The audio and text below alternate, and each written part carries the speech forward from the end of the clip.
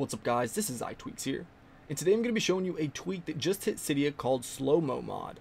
Now what this tweak does is give you that iPhone 5S slow-mo feature on your iPhone 5, 5C, iPad Air, and Retina iPad mini. Now supposedly this is going to come to the older devices as well, but right now it's not supported. So the first thing I want to show you is just going into our photos here. You can see obviously right down here you have the little indicator on the slow-mo video. So you can see this one's not slow-mo, this one is, this one is, and this one's not. And one of the settings actually changes all that to make all of the videos slow-mo. So you're gonna have that opportunity to change those up. So let's go ahead and go into the settings here and we're going to tap on Slo-mo Mod and up here is where you're going to set your frame rate. Now you want to leave this at 60 if you're using an iPhone 5, iPhone 5C, iPad Air, or iPad mini with retina display. And the only reason that you would mess with this is actually if they start to support the iPhone 4, 4S, iPad 2, iPad 3, and then you're going to change that to 30 frames per second. Now right down here we have force slow-mo for all videos. So this is what I was talking about. I was showing you that slow-mo emblem. You can actually toggle this on. It's going to make all the previously recorded videos have the ability to be put into slow-mo. And down here we have enabled the slow-mo. So obviously you want this enabled if you're going to want to uh, record some videos in slow-mo. Down here is the slow-mo rate. Now this is actually going to set how fast or how many frames per second you're actually showing during the slow-mo. So if you want it to be at 100%, this is 1, so this means that it's going to be basically at normal speed. If you move it down here, then you can see it's going to be 15% of normal speed. So we're going to leave it right there at 15% or 0.15.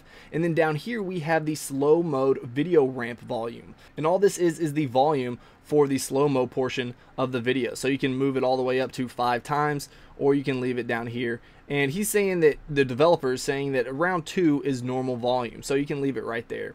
And that's where I'm going to leave it for this. So now let's go ahead and jump into the photos here. And now you're going to notice all the videos have that slow-mo emblem on there when I showed you earlier that it didn't.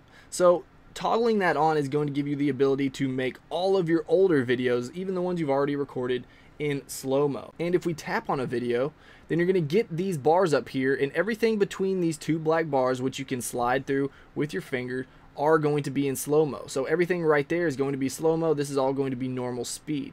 So let's go ahead and play this just to show you guys that this does work.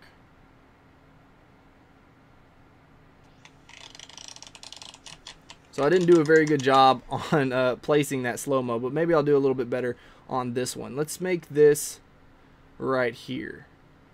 So all you want to do is slide those two black bars. That should be good. Let's play that.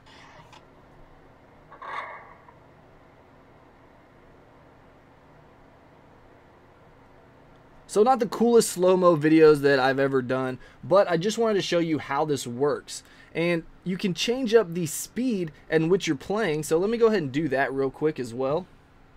So let's change the slow-mo rate to, let's go half speed. So it's going to be a little bit quicker. And we'll go to the last video that we were just at, just to kind of give you guys a look at what this does. So you can see it's actually quite a bit quicker than it was before. And that's just due to the slow-mo rate, which you can change in the settings. So this is actually pretty exciting for the iPhone 5. I know a lot of iPhone 5 users were wanting that slow-mo feature. And now if you're jailbroken, you can get that. So let me know what you guys think about this tweak in the comments below. And if you enjoyed this video, please hit that like button. If you want to see more of my videos, then go ahead and subscribe. Also, don't forget to like my Facebook page and follow me on Twitter for updates. And if you haven't checked out my gaming channel, go over there and stop by and say hey. Alright guys, until next time, peace.